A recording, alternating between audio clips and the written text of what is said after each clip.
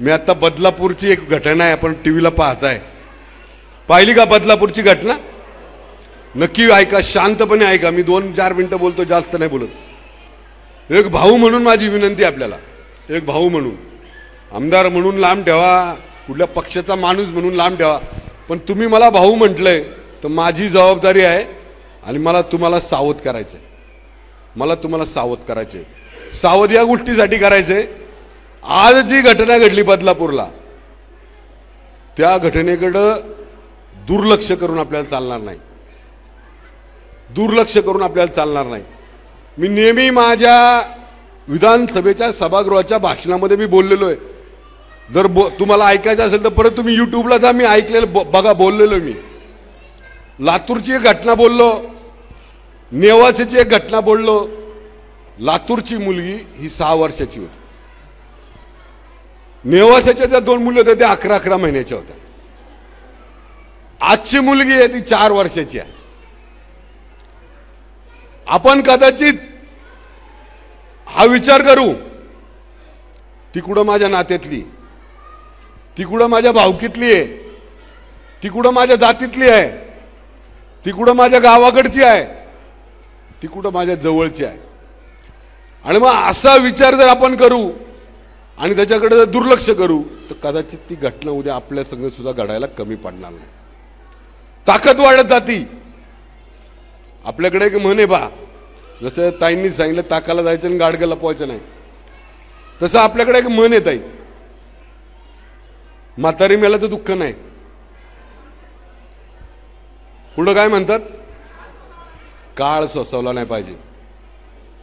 अशी घटना आज तिकडे घडली बदलापूरला. आता थोड्या वेळपूर्वी बातमी आली पुण्यात पण एक घटना घडली अशीच सारखी. पुण्यात सुद्धा सेम अशीच घटना घडली. आपण आज बहिणा या बहिणींना मी एक वचन देतो आणि मला बहिणींनी पण वचन द्यायचं.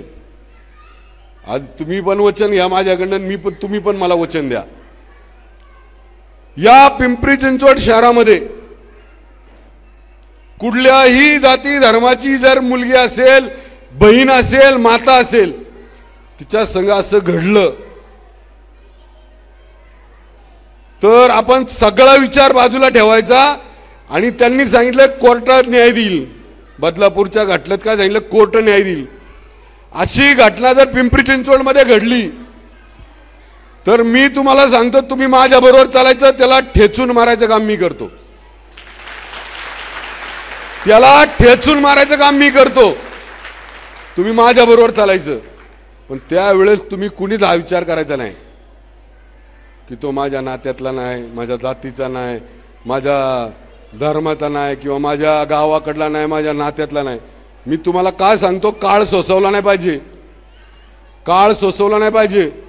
आज ल भाऊबी आपण बहीण भावाच्या नात्यामध्ये आज तुम्ही मला भाऊ समजले बघा मला आम्ही तिघं भाऊ आहोत. मला चुलत बहिणी आहेत मावस बहिणी आहेत. मला सख्खी बहीण नाही आहे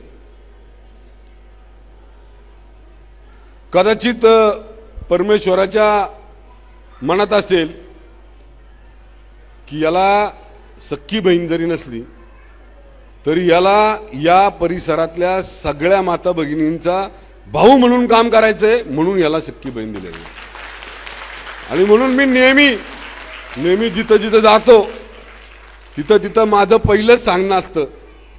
मी आरक्षणाच्या मुद्द्यावर बोलताना बोललोय. मी माझ्या परिसरातल्या विषयावर बोलताना बोललोय की मी माझा मला माझा धर्म सांगतो मला माझ्या छत्रपतींचे विचार सांगतात मला माझ्या संस्कार माझे वडिलांचे विचार असतील माझ्या परिवाराचे विचार असतील मला हे सांगतात ज्या पण म- महिलेवर ज्या पण भगिनीवर अन्याय होतो त्या ठिकाणी आपण आपल्याला जी जबाबदारी दिलेली आहे ती जबाबदारी लोकप्रतिनिधी म्हणून जरी असली तरी एक धर्म धर्माचं काम म्हणून त्या बहिणीच्या मदतीला तिथं उपस्थित राहायचं. आणि म्हणून मी तिथं उपस्थित राहतो. मी विचार करत नाही. मी विचार करत नाही. आज ही घटना बदलापूरमध्ये घडली पुण्यात घडली कलकत्त्याला घडली. आपण वाट पाहायची नाही. आपण वाट पाहायची नाही कुणाची. आज आपण सगळ्यांनी माझ्यासमोर उठून शपथ घ्यायची एक सगळ्यांनी. उभं राहा सगळ्यांनी. हात पुढं करा. हात पुढं करा. आणि शपथ घ्या. माझ्या माग म्हणा. या पिंपरी चिंचवड शहरात. या पिंपरी चिंचवडमध्ये राहणाऱ्या माझ्या प्रत्येक कुटुंबातली माझी माता भगिनी.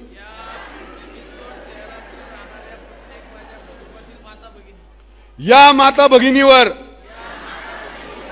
ती कुठल्याही जातीची असो. ती कुठल्याही समाजाची असो. ती कुठल्याही प्रांतातली असो तिच्यावर जर अन्याय झाला तर आम्ही सर्व माता भगिनी त्या झालेल्या त्या माझ्या भगिनीच्या अन्यायावर